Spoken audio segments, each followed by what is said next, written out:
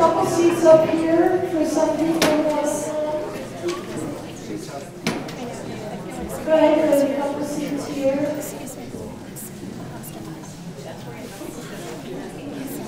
Perfect. And there's a few seats over here for some folks who want to sit down. Okay, are we ready to continue? So anyway, you heard about all these great elements of Centennial Valley. and I have to say that I was inspired by and curious about how the unique qualities inherent in Centennial Valley came together and functioned. And without recognizing it at the time, I also caught a whiff of hope. Hope for western landscapes that hadn't and didn't have to be converted into strip malls and residential developments. And I had hope for western landscapes where the lives of wild creatures and wild lands were a biological necessity and a cultural priority.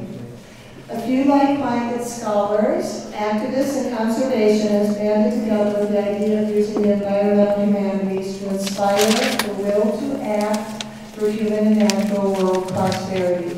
'That's the Reimagine Western Landscapes Initiative. Then we launched the first Reimagine Western Landscape Symposium, a place for wildlife, last summer in remote Centennial Valley. We convened 24 panelists, including today's keynote speaker Harvey Locke, and some others in the audience. Ranchers, biologists, authors, historians, a Native American poet, conservationists, and policymakers gathered for two days in the rain and wildness of the American West to understand better our relationship to and with the natural world. Our 2014 symposium, symposium keynote speaker, New York Times columnist and author Timothy Egan, went home and wrote a column about his experience in Centennial Valley titled The New West Renaissance. He wrote, close quote, the big story of the West today is how the urban and wild have produced a unique lifestyle, a new century ecosystem. Each depends on the other, and the lands, though badly scarred during the last century, are being restored, showing the power of people to mend places they love.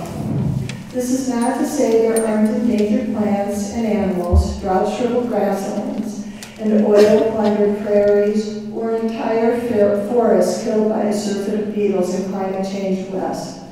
But another narrative is more compelling.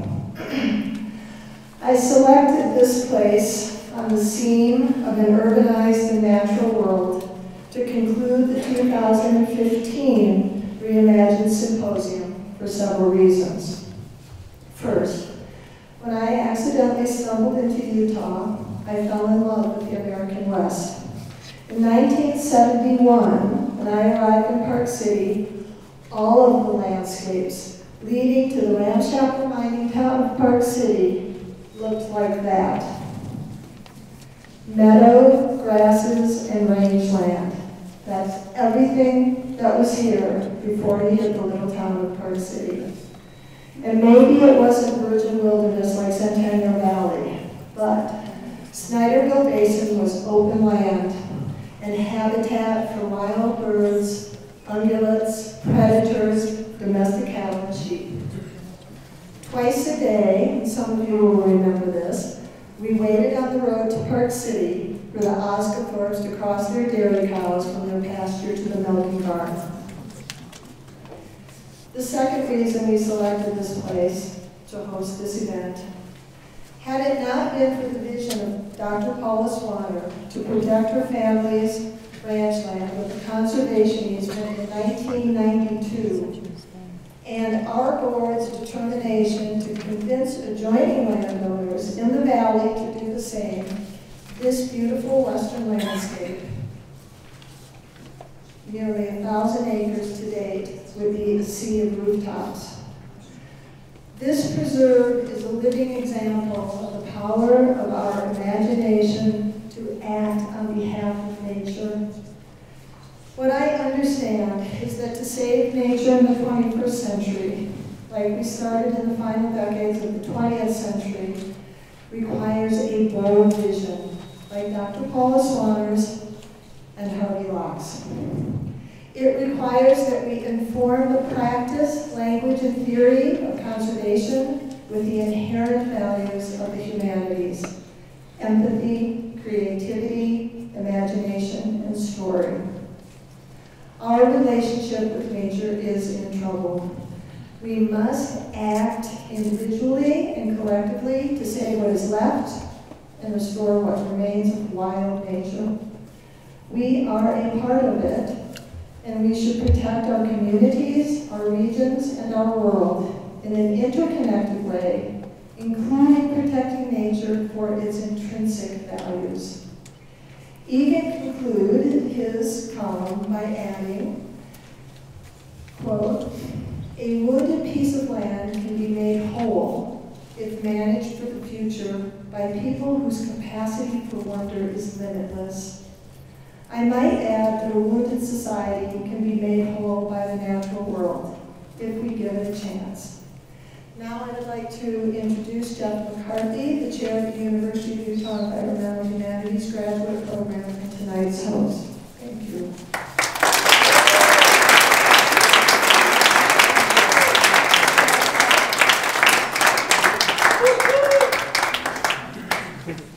Hey, everybody, can you hear me okay? Yes. Yeah, okay. Um, Thanks to Leslie for uh, making all of this happen.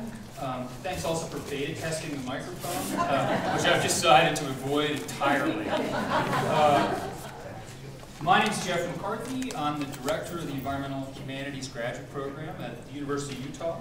Uh, I prepared some uh, remarks, which will be brief. I will get straight to Harvey. Um, I want to say that the Environmental Humanities Graduate Program has a clear mission, and that mission is to educate the next generation of environmental leaders. We operate in the intellectual and practical landscape that connects culture with nature. We value science and we value data-driven analysis, but the environmental issues facing us, all of us, in the coming decades have important cultural components too. Questions of religion, history, diversity, aesthetics, ethics. The great work ahead of us will be informed by the stories we tell, by the way we deploy our cultural tools, and by our capacity to chart a course through ambiguity, through uncertainty. That is precisely what we do in the environmental humanities.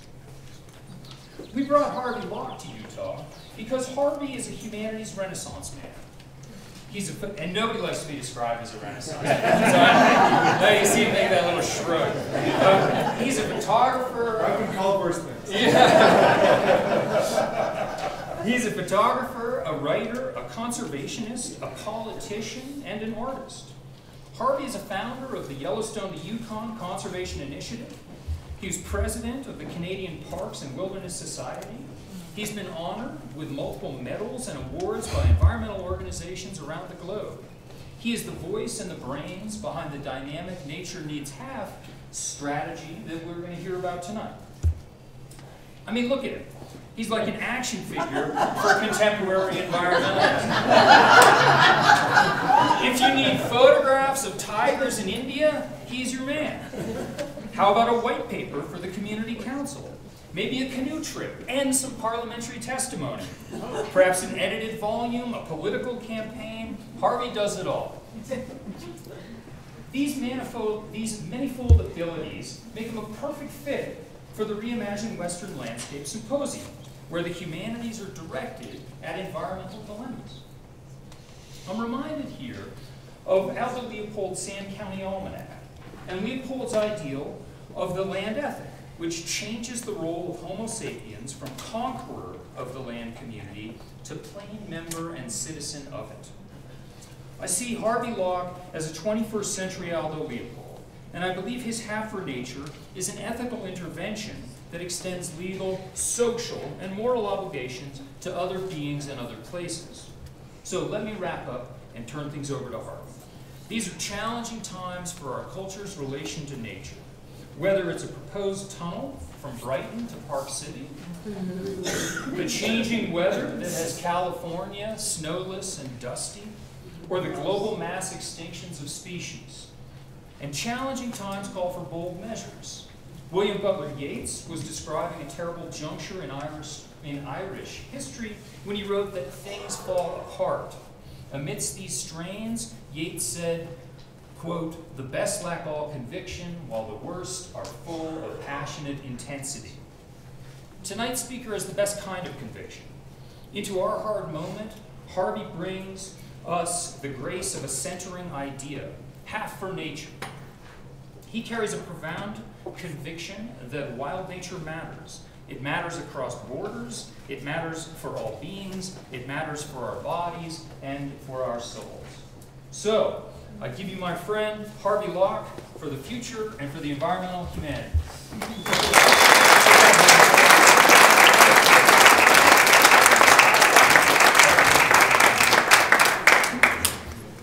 Gee, you know, you might not get rid of me if you're so nice to me. This is great fun. Thank you all for being here. So um, that's where I live. That's uh, just a little bit south of Banff. Uh, I live in Banff National Park. My wife, Mary F. and uh, I'm very honored to be among you. This is a wonderful place. It's not every time I public speak that I get to see a sandhill crane up off the deck. It's pretty cool. So without further ado, I'm going to launch into it. And um, I've been told that we need to sort of turn into pumpkins about 8.35 in that area, right? So I'll try to leave a little bit of room for, for questions, but I do want to give you a fulsome uh, exposition of what uh, uh, Jeff was so kind to talk about. And thank you very much, both to Reimagine and to the, the uh, environmental humanities for bringing me here. This is a really good idea, this environmental humanities thing, a really, really, really good idea. And your leaders in this continent are doing that, and I fully, fully support it, so thank you. So this is a painting called American Progress. And this is the painting that animated the transformation of the American West.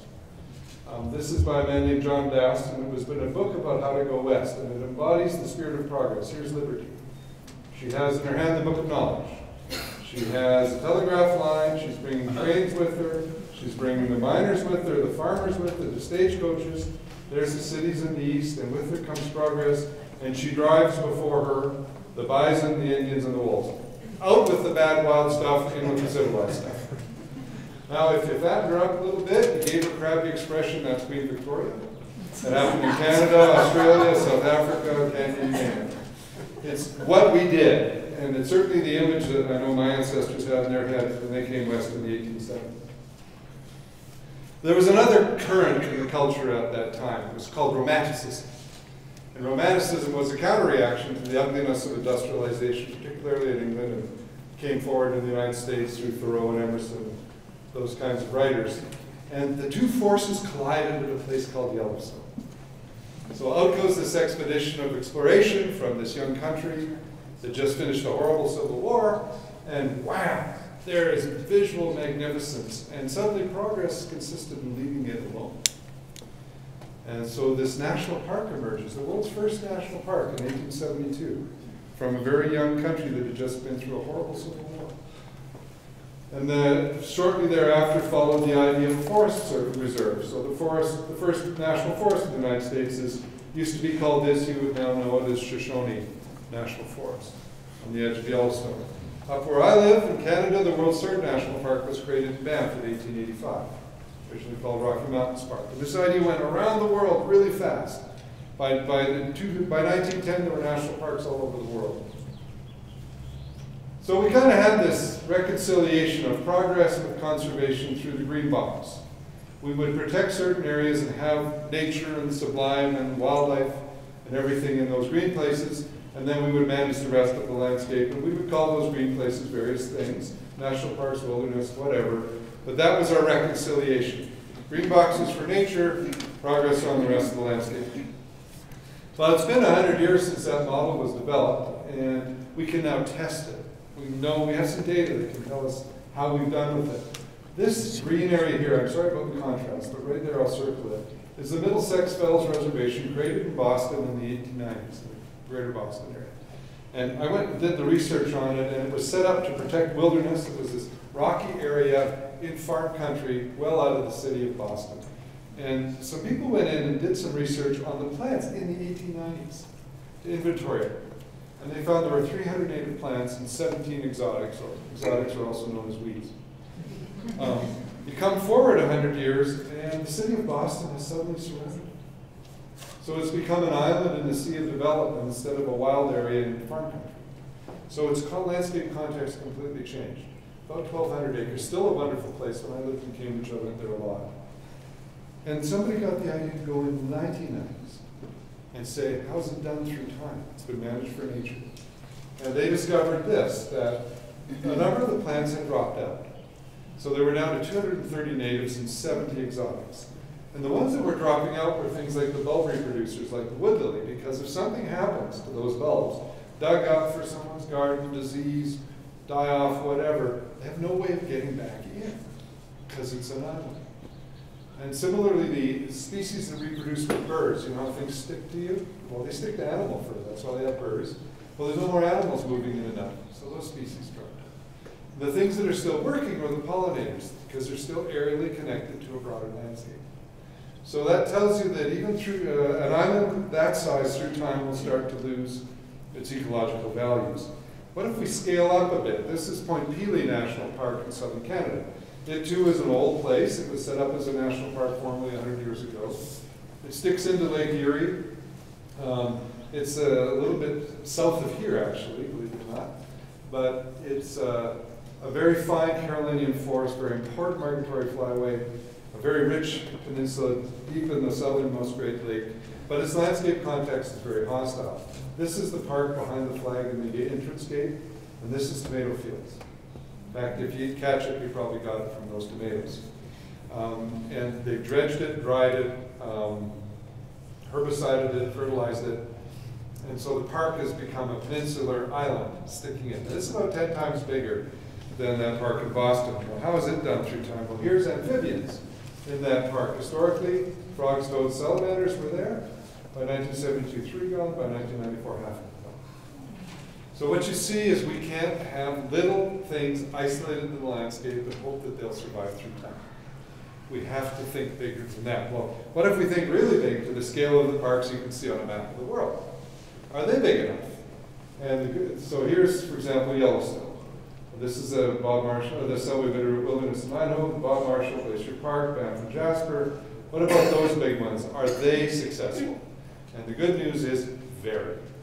Big parks work.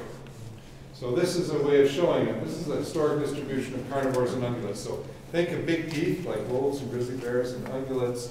Cloven hooves are the ones in here, elk and, and uh, moose and stuff like that. Big animals. Buffalo, New York had buffalo once and elk. That's why it's called that. You see, this is about when Liberty's just getting started. Queen Victoria and Liberty are talking, and they're going to go up there and do their thing. You can see that there are many hot colors. So there were lots of large mammals all over North America, all over the United States. This is the scenario today. None here in the big corn belts. None, zero. One or two here, that's the white-tailed deer that does well around people. You would probably know that living here. But look where the colors are still on. Look where the animals still are in the landscape. And let me go back. Look where those big parks are. It's a phenomenal correlation. And in fact, we know bison and elk and so on were safe because of our parks. And this is the antithesis map. This is a map of the world. This is where nature is in serious trouble, where all the endangered and threatened species and extinctions are in the world. And look at that corresponds to those white zones on the map, just perfectly, they're perfect fits. And you can see all over the world, there's lots of those zones, but there's lots of places that aren't in crisis. That's the other side of this map. So we have places in crisis, but we have places not. And uh, I'll talk on this theme a little more. So this is how much of the world we have protected. All countries. Somewhere in the range of 12.17%. So then the question is, and of the oceans, 1.6. I'm going to tell you right now, I'm not going to discuss the oceans. 1.6% isn't enough. We should protect half of it at least. That's my topic on oceans. I'll stay on the land because I, because I know a lot about the land and that's what I'm going to illustrate. But I don't want to pretend oceans aren't important. So this is Africa. So East Africa is 16% protected, Central and West Africa 10% protected, North Africa not much. But this is the famous places like Serengeti, Kruger, those places you've heard of, and hopefully you'll get a chance to visit someday. How do they work? Well, these guys, these elephants I photographed in the Serengeti, are increasingly being confined only to parks. That's where their, the range is just shrinking and they're surviving largely in parks. That's elephant range in, park, in Africa. Remember the map parks. This is a species that was once all over the place. How about lions? The Serengeti lion, oh, this is a Masai Mara lioness in Kenya that I photographed, part of the Serengeti system. Lion range in red, historically, lion range in blue today. Where there are lions, there are parks. Where there are not parks, there are not lions.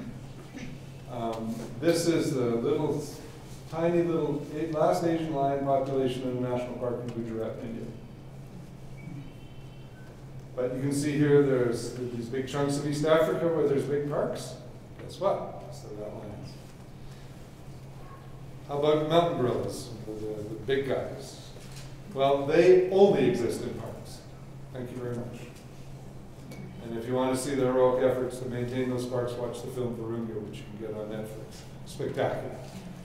And one of the things that's really interesting, I find really curious, but really important, is there's a criticism these days of parks that there are some kind of thing imposed by people about my age, with my height, and my Anglo-Saxon name, and my blue eyes. And that is an incredibly insulting thing to say about the rest of the world. People in the rest of the world are profoundly passionate about nature and their national parks, and they don't think they're derivative at all. You go to India or Africa, they're real proud of their parks and they're defending. them. And we need to know that this is a global endeavor, that we're not imposing on anybody. This is humanity doing its shared thing together, and we need to remember that. So this is a tigress I photographed in Bandhavgarh National Park in India. That's where tigers were, and that's where tigers are. In fact, it's worse than this. And the tigers that are in India, one-to-one relationship with protected areas. Tiger reserves are national parks. That's it. That's where they are. So it's really curious to hear some people say parks don't work. Don't believe them. They're wrong. This is a book that I'm uh, co-author of that just came out, which I'll wave at you, which I recommend that if you're interested in parks and wilderness as a foundation for conservation, just came out from Island Press. Um, you can order it online easily, and it has essays about Africa, North America, and Asia, and so on in it, um, including the Nature Needs Half essay that I wrote, and the Yellowstone Yukon essay, which will be largely covered in this talk. And in that essay on Nature Needs Half, I've abstracted these goals. Conservation biology was a discipline created to be like medicine. So it used to be biologists would study like good scientists, and they get their empirical evidence, and they they'd watch things go extinct, publish a paper, and get academic tenure. Okay? And then some of them, including a guy named Michael Soule, got the idea that doctors don't publish papers about their dead patients and get rewarded. Um, why do we? So why don't we apply our knowledge to talk about how we avoid them going extinct? How we plan to save nature as opposed to observe it dying. And that's the origin of conservation biology, which is a big field now. And through all the years of conservation biology, this is sort of a consensus about what it takes to protect wild nature. You need to represent each ecosystem type in protected areas. You need to maintain populations of all native species. You need to maintain ecological processes like fire and flooding. And you need to have resilience in the system so that the thing can adapt to things like climate change. And it all needs to be connected up. So those are the four big goals of conservation biology. So let's talk about how much you need to protect like that. This is a tiger uh, photographed in the BRT Tiger Reserve in a place called the Nilgiri Biosphere Reserve in India, which is one of the most biodiverse places in the world. Spectacular, rich, rich, everything. And there was a study done by Indian scientists using principles of how much would it take to protect this, appointed by the government of India, nobody with an Anglo-Saxon name anywhere near the study. 60% is what they recommended that be protected in an interconnected way. In this marvelous system that runs up the mountains of India for 11 degrees of latitude called the uh, Western Ghat Mountains. Fantastic place if you've never been. India is a great nature destination. It's amazing. It's one of my favorite nature destinations. This is Serengeti. This is the uh, wildebeest and zebra migration, that photographed a couple of Februarys ago. Over 60% of the Serengeti ecosystem is protected. That's why it's still intact. That's it? Oh, thanks. My wife's pointing out I need water. She's right. Um, over 60, in fact, over 65% of it is protected, and it's, of course, one of the great wildlife places in the world. It's not a coincidence that those species are all still there. They're there because they were protected in a landscape that's protected. It's pretty basic.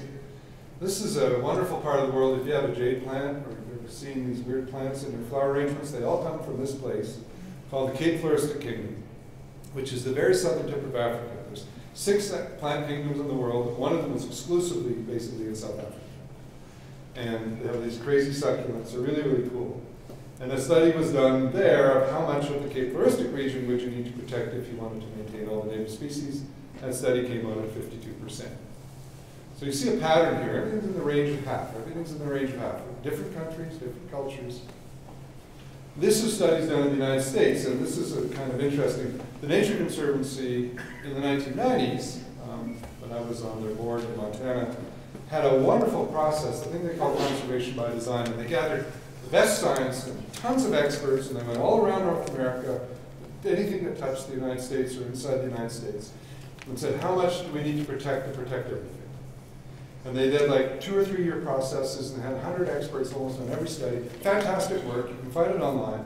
Here's what they came up with. The Blue Mountains, 57%, the Florida Peninsula, 51%, California West Coast, 47%, Greater Yellowstone. This is a different study using similar methods but not the same people, 70%. All of this stuff was documented in that Nature Needs Half article. But you see the pattern. All around half.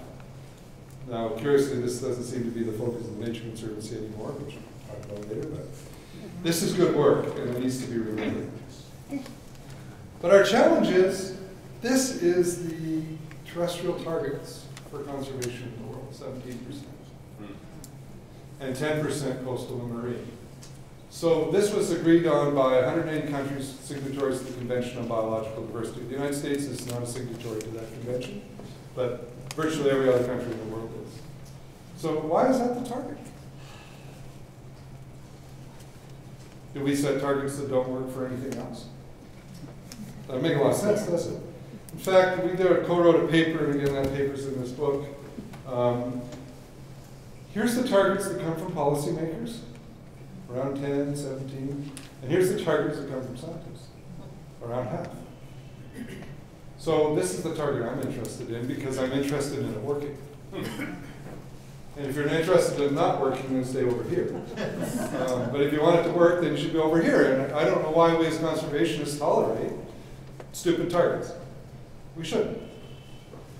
You know, do, do banks say, you know, we'll only be, able, we'll go bankrupt slowly and we'll accept that as the fiscal policy of the Fed? I don't think so. So why do we?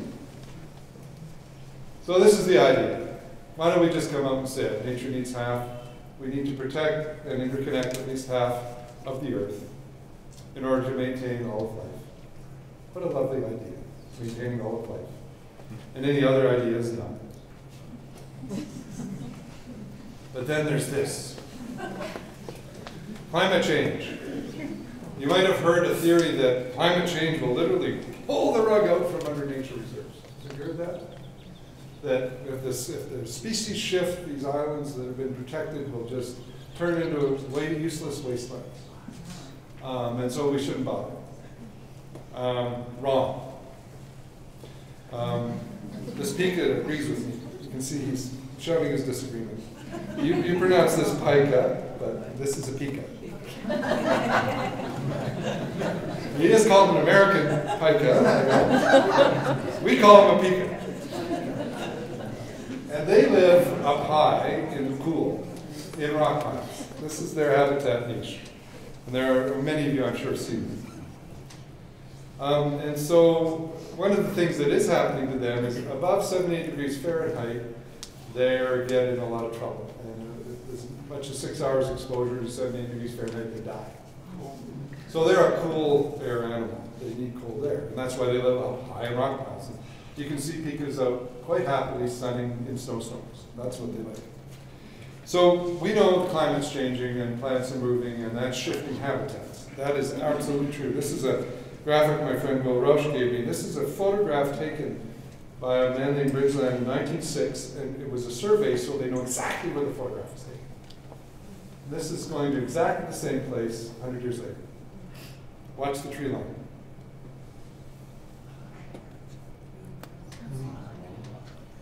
So things are definitely changing. That's what he projected forward 100 years. So if you live in a rock pile at the top of that hill, you've got a problem, right? You need to be able to keep going up the hill to the right, or else you're not going to be alive anymore. This is the range of the pika in North America. I know I'm doing the Canadian pronunciation, but it's hard for me to do the other one. And there's some interesting recent studies. So in the Great Basin Mountains, um, about a quarter of the populations being studied have gone extinct during this study. And another study in California shows about a fifth of them have gone extinct. and they correlate exactly to no place to go up. They ran out of room, bye-bye. This is the last 20 years. And by the way, climate change is underway. It's not a future problem. It is here and now. And it's been here and now for many years. And uh, we need to be conscious of that. Uh, the- there's good news in this, though, too. And then there's a study done of the Pika population in Colorado, and 61 of the 65 historic Pika populations are still there. They're not in the same place necessarily, they've gone up slow. So how that works is like this. This is that same hillside, just zoomed out a bit. This is in the Canadian Rockies in Kootenay and Banff National Park area here. That's that hillside he was photographing. Well, there's a lot of country to go uphill still. So we need protected areas that span elevational gradients. And the trees and stuff are moving uphill too. Their habitat niches are moving, so they have to be able to move. That's that old tree line. That's the new tree line. You can see that it's, in that context, it's not such a disaster at all. This is the big thing. We are not powerless in the face of climate change. But we have to protect more of nature to allow it to adapt. This is a wonderful paper I just had shared with me this week that I strongly recommend. These guys from England have studied 40 years of the changing climate in England and looked at other literature and have found that the protected areas, the parks, are accommodating many species by shifting to higher elevations or to poleward-facing aspects or cooler microhabitats. So cooler microhabitats means, you know, there's a rough surfaces uh, and they can go around where the sun shines less. Or this question of poleward aspects. This is a whole landscape scale. So you have a brilliant example of poleward aspect um, right up the valley here. So the first little hill, as you're coming out of the canyons, right in front of you is grassy on the south side, treed on the north side. So one of the climate adaptation things that things will do is that they can't stand the sun, they can go around into the trees. And that's called the round aspect. And that makes it pretty important for you not to have all of your north-facing slopes turn into ski hills around here. You need to leave some of it intact for nature to be able to be resilient. And then the other thing is that the protected areas they studied have proved to be stepping stones in range shifts. So if species are moving all the way out of the reserve, they tend to concentrate in the next nature reserve. So it's actually working. Protected areas are not useless in the face of climate change. They're turning out to be fantastically important in the face of climate change, and they work. This is an editorial Nature did a few years ago. Uh, it's time to think big. Just as Yellowstone is the archetype for an island, so corridor initiatives such as Yellowstone to Yukon have taken off in North America. Um, this is kind of a fun editorial. If the connectivity stuff, I've been actively talking about for 20 years, since 1993 anyway, and I'm not the only one. But I got the phone call in 2010 at my office in Boulder from Nature saying, we'd like to talk to you about the new idea of connectivity. And that led to this editorial. And it reminds you that ideas take time to percolate and enter the culture. And you have to just keep working at them, and keep working at them. If they're correct, they eventually turn into normal. And uh, when, nature, when nature speaks, the science world listens. There's two great science magazines, Science and Nature, and it really matters.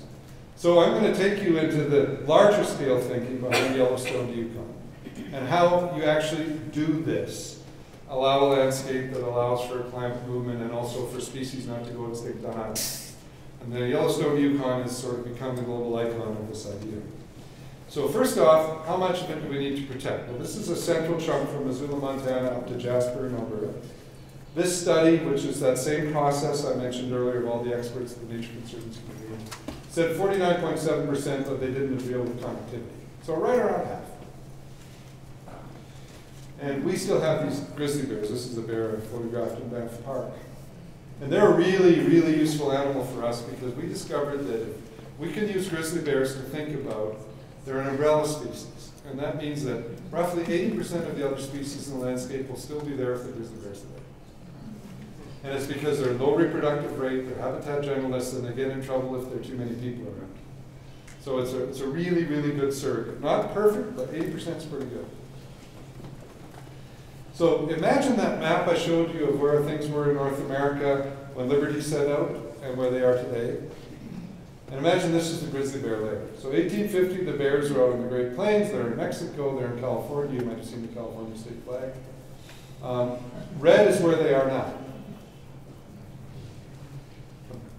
There's the Yellowstone Island of grizzly bears. There's a peninsula of grizzly bears running down from Banff and Jasper to Glacier Park and Bob Marshall Wilderness.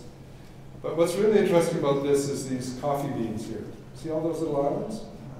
That's where they were in 1922. Every one of them is gone extinct.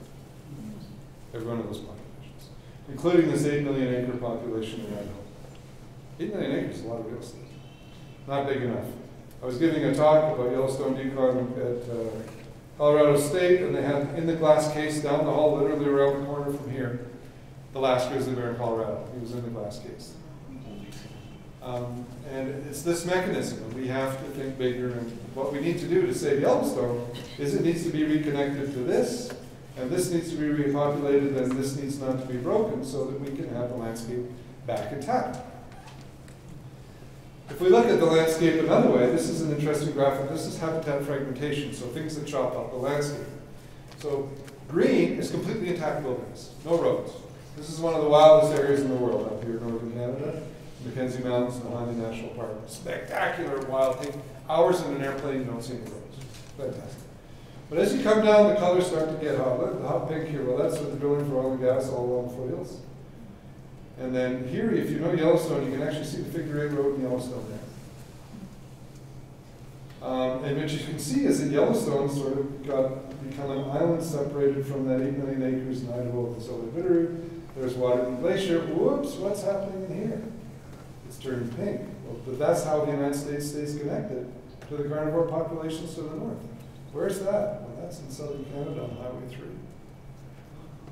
The head of your grizzly bear recovery program told, has written for me in writing, what happens on Highway 3 will determine the fate of large carnivores in that state. So the idea of conservation biology in Yellowstone Yukon is you have core protected areas, like the national parks you connect. And then things can move between the landscape. The connected areas don't have to be parks, but they have to be landscapes that aren't completely hostile to the animals. Um, and they need to expand elevational gradients, and this is actually the landscape from just north of the Montana border looking north. It's a very strong linear north-south ecosystem. The animals travel valley bottoms, it's pretty tough to go over that. Um, and so they travel out, this is a big bird flyway and so on. That's the kind of landscape we're dealing with. That's a different graphic of the same thing. And what you see is this enormous north-south orientation from Montana, which is here, Alberta, British Columbia, up in Yukon. See the green? But look at this, there's three or four crosses. Only three or four where things cross. There's Highway 3, there's the Transcanada Highway in Banff Park, there's the road across Jasper Park, there's the Peace River Break. Otherwise, it's a big connected system. So one of the things we had to think about is, well, what goes on in those breaks? Because if they turn into islands, it's a problem. In each one of those breaks is a highway, a railway, and towns. So the one that's uh, got the busiest highway of them all is the Transcanada Highway in Banff Park. But because it's a park, a lot of people care. And we were able to put this in context, and the result was we got crossing structures built for animals over the highway. So these fences drive animals over these overpasses. There's a system of 44 overpasses and underpasses on the highway. Cost $100 million. And it's the most extensive system of highway mitigation on earth. And it worked. The animals actually go, this is the top of one of them. Um, and this is a grizzly bear walking across one. And that's a lynx walking across one. And there are also underpasses because different species have different needs and different preferences. So this is an encounter of a kind no one wants. A wolf and a, and a bull elk. And um, but there they are. They're using the system, and here's the data. this is 20 years of data. This is about a 2009 slide. There's more since then. 200,000 individual wildlife crossings through that system, and you can see different animals use different systems. So you see the sheep one, 4,000 crossings at one of the uh, some of the underpasses only one overpass, because the overpasses aren't sheep habitat, and so on. So it's kind of interesting how it works, but it, it works. And this has actually been replicated a little bit at the Kootenai Salish Reserve between Missoula and Glacier Park. Around Pinedale, Wyoming, they're putting stuff in, and it's not a coincidence that they're all in the Yellowstone Yukon system because people are thinking about connectivity in that system. As we should be thinking about connectivity in Colorado and in Utah and everywhere else. It's just the, the story's out there, people get it, and they're embracing it, and they're reacting accordingly. Um, This is uh, the challenge, though, what if you don't have a highway through a national park? Because the good news in math is you've got a protected area on both sides, right? So the animals cross from a protected area into a protected area. So it's the best place to experiment, because you can tell whether it's the road crossing or not that makes it work. But what about further south on Highway 3, that road I told you was the lifeline for the United States? None of this is protected. None of this is public land even. It's all private land, so what do you do? Well, this is an interesting problem. So we, we did some work with science, and again, you know, you see this is that fragmentation zone here. Using grizzly bears, female grizzly bears are the ones that count, actually.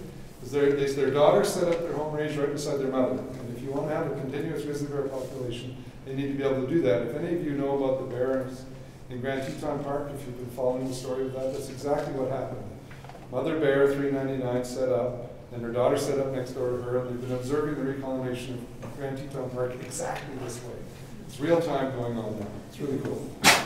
And this is how you find out about bears.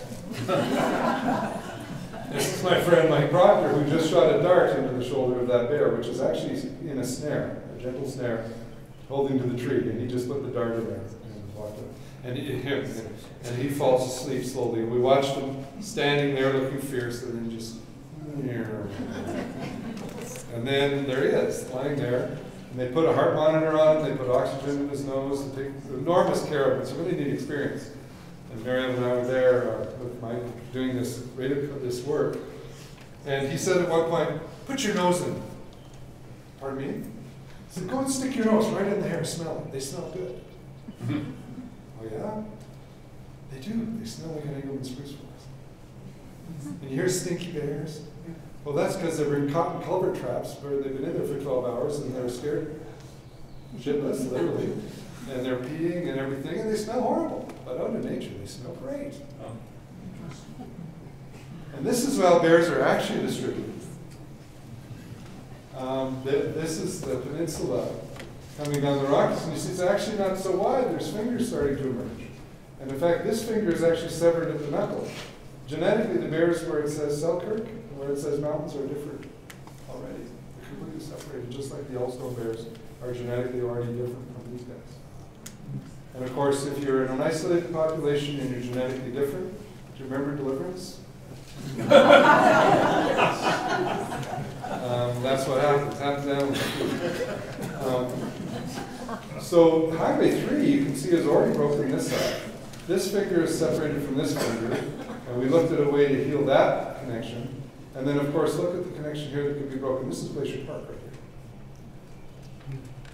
So this is Mike with um, Rob Neal, who's another friend who works for the Nature Trust of BC. And we're on a farmer's, uh, family's land, 400 acres, where the bears are actually going through. And it turns out there's only a few places in that peninsula where they're actually crossing. And I mean a few places like, like this field. And this is where the, the, the fractures are. This is a stunning piece of collaborative work by 30 grizzly bear biologists. All the data on bear populations assembled in 30 years that Mike's the lead author of, and many others contributed to. There's the 994 bears south of Highway 3 in Glacier, Flathead, um, Bob Marshall. There's 551 bears, or whatever that number is in Yellowstone, and so on. And then here, you can see the different numbers, and the yellow lines are all highways and fragmenters, where they can turn into islands. So we have amazing data to work with. When you drill into this linkage here, okay, where the, nine, where the big population here in the 994 the peninsula, up to Banff, that's the big lifeline. Inside that, the purple areas are the only areas that are really good crossings. Alberta border here, BC border, hugely important crossing there, a little bit of a crossing here and here, hugely important crossing there. Those are set, game over. So we've been buying these lands. I'm pleased to tell you we've got uh, 75% of this land already purchased or under easement. Um, and it's been a wonderful collaborative process working with Nature Conservancy of Canada, with scientists, Um, and all across Highway 3, we've done an assembly of lands. We've been able to prioritize parcels, and we've got on our top list of parcels, we've done 9 of 11. And we've been able to raise $41 million, and these are the group of people that's been working together on it. What's really important about this is, I hope I haven't said we did this, meaning my organization did this. We did this as a community. This is a shared vision. The government of Canada paid for those highway crossing structures. Um, one of the really neat easements done with Trust for Public Land, the Stimson Lumber Company was so interested in this question of connectivity and contributing to this vision, they donated a quarter of the value of the easement, worth three million Teck, which is a, the biggest metallurgical coal mining company, so stuff that's used to fuse carbon to steel, that's metallurgical coal. They're the biggest exporter in North America, second largest company in the world doing that. They have coal mines in that peninsula. They've decided they want to be in alignment with this vision, and they went out about $19 million worth of land for connectivity. Explicitly for that. And I'm actually working with them on the management plans for those lands. So what's interesting about it is you can see the big vision, the big dream, and the sense that we can get something done. A lot of people come into alignment with it. It changes people because we can move from a negative space to a positive space.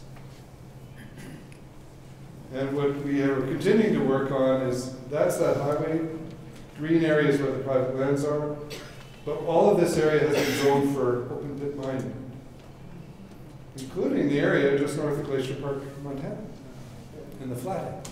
So not only do we have private land issues, we have a hostile public land environment outside the private lands. So we have to go through the roads, and then you go through private lands, and then you go into the public lands. So what we're trying to do is expand Waterton Glacier Park into this missing piece of the flathead, and then have a provincially designated wildlife management area hook it up to Banff National Park. And that integrated vision is being worked on by a large number of people uh, under a team we call the Flathead Wild. And of course, the challenge is that Glacier and Waterton Park are a wonderful park, but very much an island. And you can see this clear missing piece right here. That's the Flathead Valley British Columbia. There's the Flathead River, comes down to the border here, and suddenly it's in Glacier Park, Montana, and that's what that border looks like. Okay, there's the river crossing the border right there. Now that's a goofy border. This is a World Heritage Site, this is a national park, this is a wildlife sanctuary. This area until recently was zoned for open pit mining, open hunting off-road vehicle and wildcats. Right there. There, there. So a few years ago, happily, we got off, we got oil and gas and mining banned in the Canadian Flathead. And a law was passed in December reciprocally on the American side in the unprotected part to ban oil and gas and mining in the American Flathead. And so what's interesting is this valley, the Flathead Valley, is your wildest and most protected valley in the United States. On the Canadian side, it was zoned for heavy industry. That's why we have to think over the border. Um, we cannot live, no man is an island unto himself, no park is an island unto himself, and no nature is an island unto itself. This is the Flathead Valley of Canada. Isn't that worth a national park? Exquisite. So there's the Flathead drainage, half of British Columbia, half of Montana, and here's West Glacier. There's the Glacier Park boundary, there's the piece we want to add to the park. And you can see these are trout migrations up and down the river. And that's the Flathead town site, which the mining company bought as a nature reserve, but which five years ago was zoned for open pit mining, including under the river. Pretty cool that we made that change. And that's the dream. I will be a happy boy when we can put in the missing piece of Waterton Glacier National Peace Park. It'll be a much happier park in a happier context. So this big dream um, is not fully accomplished, but it's well advanced. This was the condition of lands in full conservation or conservation-oriented designations in 1993, and that's today. The area I've been talking to you about is this area here that isn't in the right color. And we're trying to fill in that piece. So it's amazing how you can go from, this is a vast area of 1,200 miles long, more, down to 68 acres, and see exactly this or that crossing. So it's all scales, way up to little, but it's the big vision that drives it all. And in Canada, we have a, a wide variety of people now advancing the idea of protecting at least half of the country in a interconnected way. Um, so there's a thing called the Boyle Initiative in the government of Quebec. Mary Ellen and I are involved in this. Has committed to protecting half of everywhere from inland. Government of Ontario is committed to protecting half of everything from here. These are the premier level commitments. These are not, you know, campaign literature stuff. One's already in law. The Dehcho people, who are uh, Bennett people, have a land use plan for their territory. They propose to protect half of their territory. The Great Bear Rainforest people are close to getting seventy percent of the Great Bear Rainforest protected. And interestingly, the city of Victoria, British Columbia, the capital regional district, which is a big area, has now adopted the Nature Needs Half Vision for their plan for the future. So it's kind of cool. And in the United States, Boulder County, Colorado, looks a little bit like this part of the world. Over half of Boulder County is already protected. And that's what it looks, that's the protected areas of Boulder County. National Park, Rocky Mountains Park, Indian Peaks Wilderness, some roadless lands, some private land conservation, Boulder County lands, and City of Boulder lands, the aggregate. And guess what? Boulder is considered one of the nicest places to live in the United States. Isn't that funny? And it's a very affluent place too, isn't that funny? How about upstate New York, Adirondack Park? The area they call the Adirondack Park is six million acres in New York. Think about that, six million acres. That's twice as big and more than Yellowstone. Over half of it is protected. Slightly under half of it is under the Constitution of New York is forever black. It's pretty cool. If we look at North America in terms of its footprint, this is that crisis ecosystems black hole or white hole area. But look how much of North America is not. Look where you are. You've got lots to work with. And here's the alternative. This is a rather stark statement from the 2007 Intergovernmental Panel on Climate Change. The resilience of many ecosystems is likely to be exceeded this century by an unprecedented combination of climate change, associated disturbances, flooding, drought, wildfire insects, ocean acidification, and other global change drivers, land use change, pollution, overexploitation of resources. So overwhelming the resilience of ecosystems is very bad news because that's where we get our water from. And we actually don't know how to make food, how to make water, or how to make the climate. We actually don't know that. Would anybody in the room please tell me the recipe for food? How about, can you make some water for me? Nature does that for us. We have learned how to manipulate those things to make the water go where we want, assuming it falls. Or to make food produce certain yields that were different than the one wild genetic origins. We have never invented a food that didn't come from nature. We need nature for our own well-being as well as we need to let nature be too. So, can anybody tell me the name of that band? It's in a lot of college dorm rooms. And that's because we have bequeathed a really bleak future. Like we say, oh God, it's all going to hell in a handbasket, and we go to dumb Congress, we can't get anything done. Well, what do you think that's like if you're 19 years old? It's like, I'm, and then I got massive piles of debt to face and everything, and it's just like, that's why this is a popular image. And if that painting of liberty going west was the image of the 19th century, this is an image of despair, is what we have if we don't do something about it. And we can do something about it. If we protected half the world in an interconnected way, we could turn that into a smile. So this is kind of how I see the world. This is a picture I took of some tailor's waste in India. By, I was skiing in the Himalayas in a place called Manali, and I was having a shirt made. Actually, the shirt I wore to lunch the other day that I forgot to wear a tie with, you know that one? And I was waiting for the tailor, and I walked to the edge of the river, and he had just dumped all of these pieces of sari and all these silks and everything, and it was this most beautiful abstract pattern. And I took the picture, and for me, it's a metaphor of our world. It may be in tatters, but it's still beautiful. And we can still weave out of this a positive future. And in that positive future, we would understand that we are one species among many, that we share the world with the rest of life, will serve us better, and will serve the rest of nature better. And I'd like to see us get back to this understanding. Anybody know what this is? What does the image symbolize?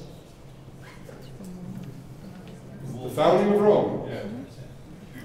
Uh, Rome is the beginning of the techno-industrial civilization. Aqueducts, trans- massive transformations. That's where our civilization starts really, is then, with the Romans. The Greeks did a bunch of thinking, the Romans did a bunch of building. That's, for you humanities scholars, that's everything you need to know.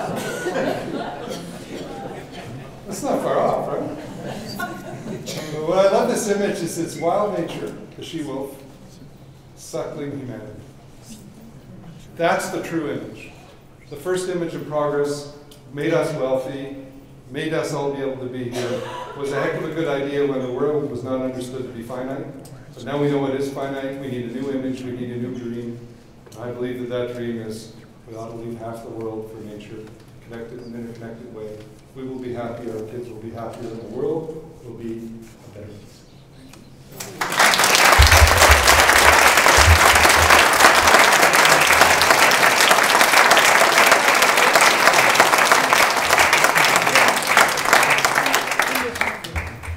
I promised Leslie that I'd facilitate the Q and A, so um, that's why I'm standing here. So if you have questions for Harvey, uh, raise your hand.